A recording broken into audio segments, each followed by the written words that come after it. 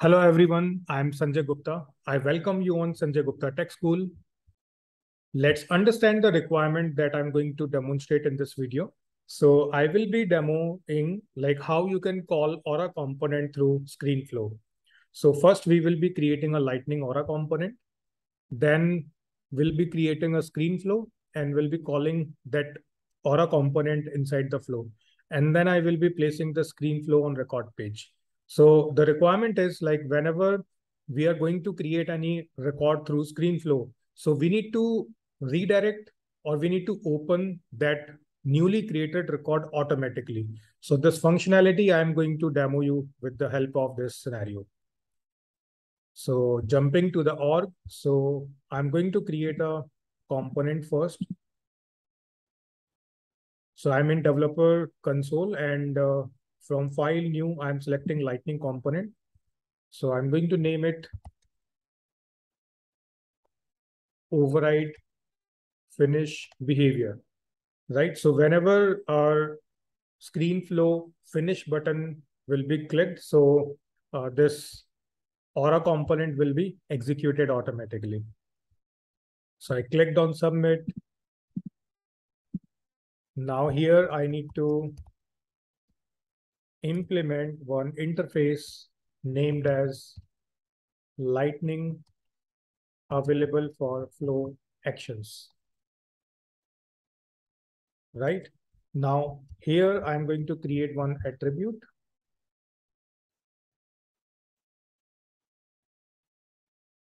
Naming it as record ID and type is string.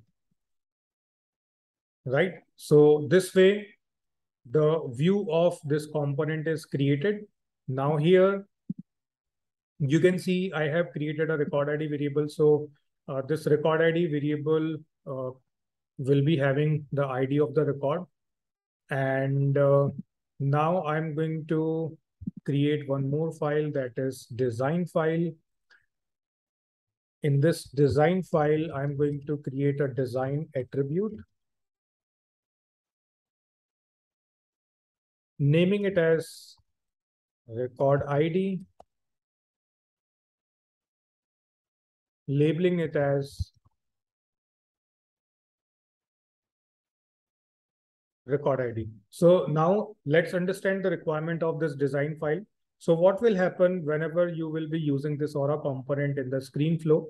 So uh, this record ID will be available there to receive some input from the flow. So that input will be available in this uh, record ID variable that we are creating in the design file so that uh, this variable's value we can use in this Aura component for processing. So if you want to receive some input in the uh, Aura component, so in that case, you need to use this design file right? Now I'm going to create the controller.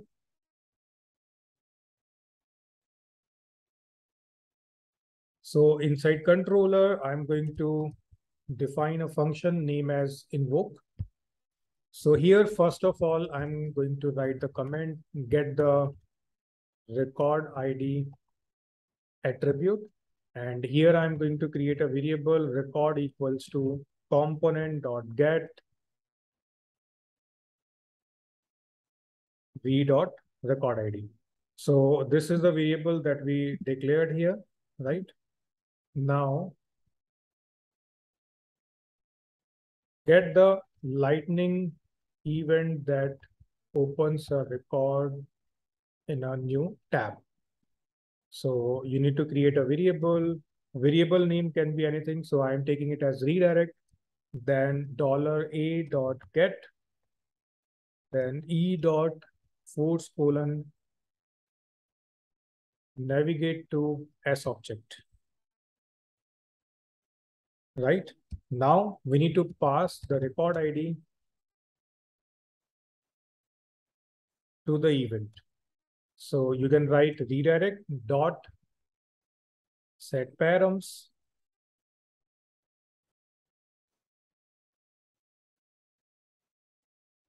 record ID and then record.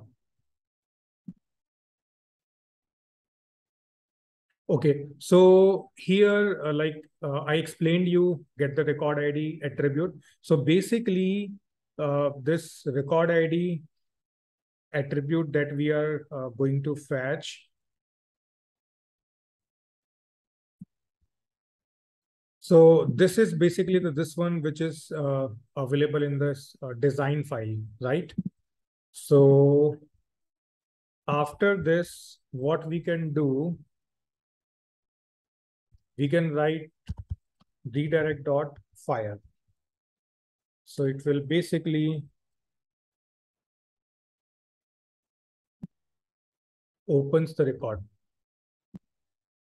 right? So this way now I can save it. Now I'm jumping to the screen flow. So this screen flow I created in the last demonstration. So here you can see we are receiving name, close date, and stage. Then we are creating this opportunity record. Now after this, I can have an action, selecting type, core action. Okay, I just need to do a refresh so that newly created lightning component is available in this flow. So now if I select action, type, core action, override finish behavior, so it is available.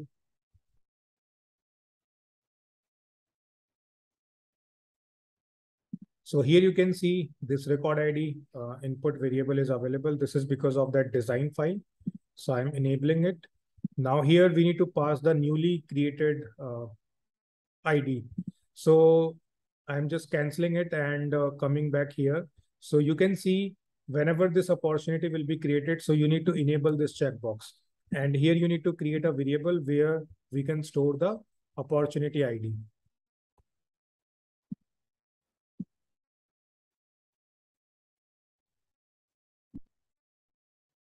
Now click on done. Select the action type will be core action, then override finish behavior.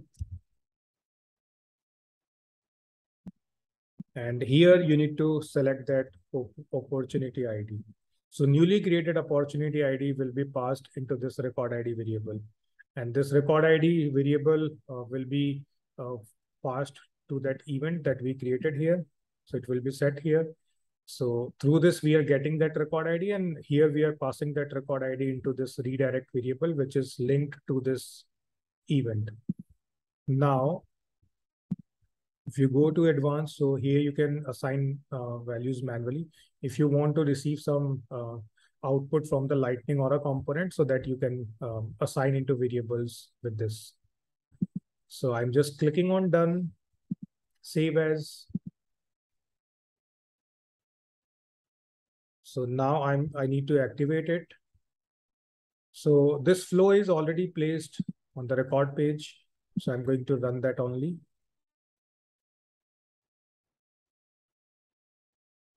No, that is not available. Actually, uh, this Aura component is placed. So I'm just going to edit this page. So click on this gear icon and click on edit page. So in previous demonstration, I just used screen flow in the Aura component. So I placed Aura component here. Now I'm just removing this Aura component and I need to place the screen flow. So I need to select flow component.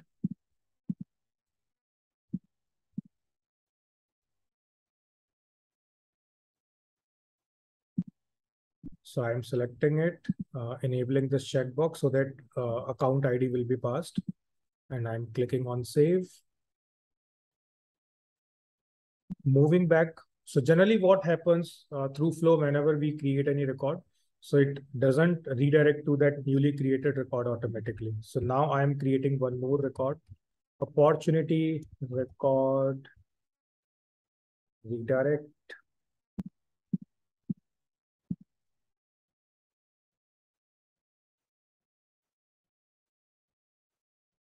So opportunity is created and here you can see it is automatically redirected to that newly created record, right?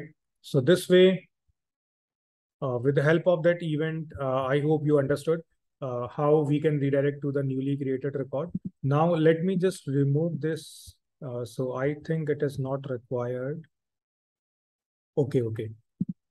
So what happens like if you are creating any attribute in the design file, so you need to declare it here as well, and then you can uh, use it in the design file, right? So uh, this is the variable which is available in the flow here. So where we are passing some value, right? And uh, uh, this design attribute we are receiving here through this component dot get. So basically, uh, whenever you create any design attribute here, so you need to declare it here as well. Okay, so this is the demonstration like how you can uh, call your lightning aura component in the screen flow so that you can uh, override the finish behavior and you can redirect to the newly created record.